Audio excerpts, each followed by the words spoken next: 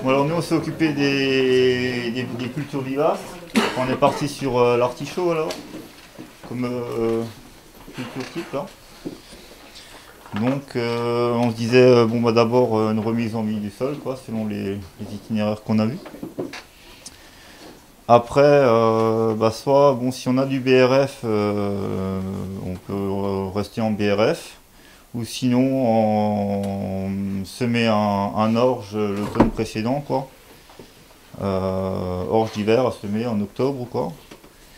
Euh, qu'on roulera au mois de mai. Donc au mois de mai c'est l'époque de, de plantation des artichauts. Pourquoi alors L'orge parce qu'il je pense qu'il fleurit un peu plus tôt, ça se récolte en juin, donc euh, en mai euh, il doit être prêt à être roulé, au rouleau, rouleau faca. Euh, Plutôt l'orge oui c'est plus précoce quoi. Voilà.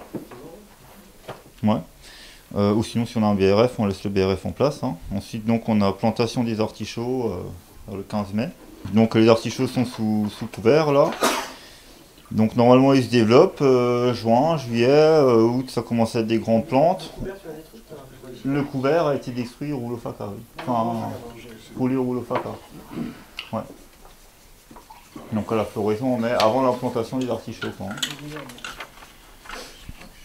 Donc ensuite, on pensait éventuellement, si ça est encore euh, propre, euh, s'il n'y a pas trop d'herbes qui traversent le couvert, euh, planter éventuellement des mâches, épinards, voire radis daikon. Fin, août- fin août, début septembre, ouais. Août-septembre, si l'enherbement n'est pas si, faible en enherbement. Même voir semer les trois euh, ensemble à la volée, hein, ou on peut faire un mélange, je me dis, et puis euh, on récoltera d'abord peut-être la mâche, les épinards et les radis. Ah. Et puis euh, les épinards, on peut en prendre au, au printemps. Donc ça, c'est à condition que l'artichaut ne fasse pas trop concurrence avec ses, ses annuelles. hein. Comme c'est une vivace, l'artichaut, il risque d'être prioritaire. Donc c'est à tester, quoi. Alors si- s'il y a un fort enherbement, par contre, au mois d'août, on peut... euh, Enfin, si, si on voit qu'il y a de l'herbe qui sort euh, au mois d'août, il ne sera pas encore au fort enherbement, je pense, comme c'est sous couvert, mais si on voit qu'il y a de l'herbe qui, qui vient, ben, au lieu de semer, on, en octobre, novembre, enfin, une fois que ça gèle, chez nous, s'il gèle assez tôt, en octobre ou novembre, il commence à geler. Cette année, c'était tard, mais sinon, en octobre, il commence à geler. Donc, les artichauts sont foutus, donc on peut occulter avec une bâche, s'il y y a de l'herbe, quoi. S'il n'y a pas d'herbe, on a les mâches épinards qu'on peut récolter. Euh, voilà. L'occupation en novembre. Ou occultation en novembre, ouais, ou si vraiment il y a une urgence parce qu'il y a beaucoup d'herbes qui se développent, on peut occulter, on peut mettre une bâche de chaque côté du rang d'artichaut éventuellement. Moi je le fais pour les tomates de la serre. Euh, pour euh, gérer l'herbe quoi. Ça c'est à voir, c'est adapté. hein. Puis après on se disait donc euh, en, en- novembre, donc euh, si- soit on récolte, soit c'est bâché, hein, novembre jusqu'au mois jusqu'au printemps, mars. Si, euh, on peut récolter des épinards hein, en mars ou comme ça. Et ensuite, euh, bah, je me disais, il faut ressemer un, nouveau couvert, parce que si, on est en BRF, on peut en mettre du BRF, quoi, si on a le BRF. Et sinon, si on travaille avec des couverts, ressemer en mars, genre sarrasin, févrole, quelque chose d'assez rapide, euh, qu'on puisse les détruire euh, avant que les artichauts ressortent, euh, le début mai, euh, avril-mai euh, de l'année de un un. Voilà, sarrasin, févrole, Non, en mars, c'est trop tôt. quelque chose d'assez rapide, c'est peut-être tôt. C'est gélif. Ah. Non, mais sarrasin, il faut geler aussi. Sarrasin, jamais en mars. Ouais, sarrasin, ça peut être plutôt que le sarrasin. Par contre, il y a plutôt de la févrole qui ont un cycle long. Donc c'est de la veste, un truc comme ça.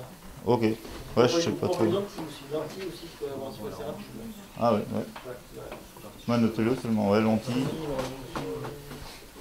Alors quelque chose de cycle assez court, qu'on puisse le, le détruire au rouleau faca euh, avant que l'artichaut euh, re- rejette, quoi.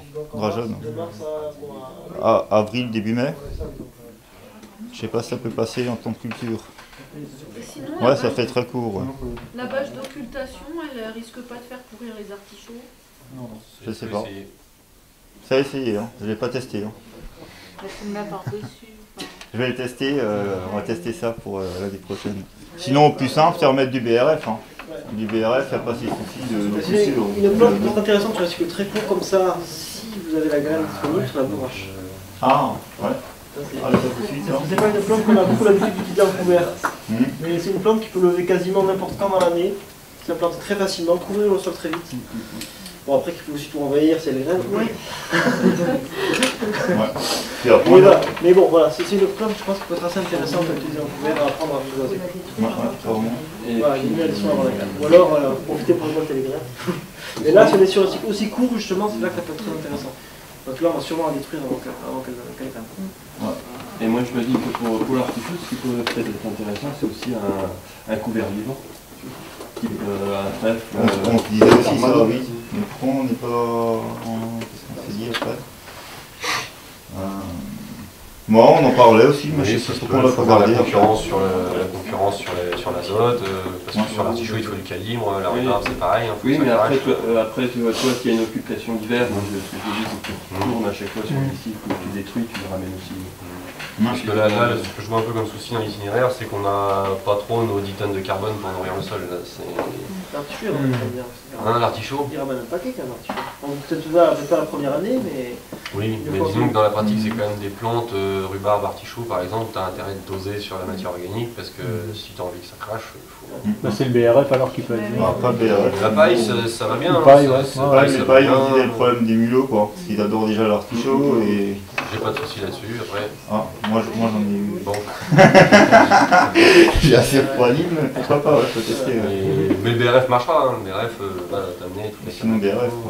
On a eu nous des, des, des rhubarbes grosses comme le poignet, euh, dans 10 cm de BRF quoi. Sur ça, Ouais. tu peux y en mettre, ça. surtout la rhubarbe qui est en plus une plante forestière. Oui, oui, plus tu y en mets, plus elle grossit. L'artichaut c'est pareil, plus tu y en mets, plus il pousse. hein. Donc, euh, je me demande si c'est pas un, artichaut rhubarbe, une, une plante qu'on pourrait laisser en culture 5 ans pour remettre en vie les sols en fait. C'est-à-dire que c'est un sol pas trop vivant, Oui, oui, on intègre un peu de matière organique et on, on plante ça dedans. Et comme c'est une vivace, ça va quand même mieux se démerder que les autres pour euh, restructurer le sol, etc. Et tous les ans faire un petit apport euh, de BRF et petit à petit, au bout de 3 ans de rhubarbe, 4 ans de rhubarbe, euh, ouais, reparti sur quelque chose de, de très vivant.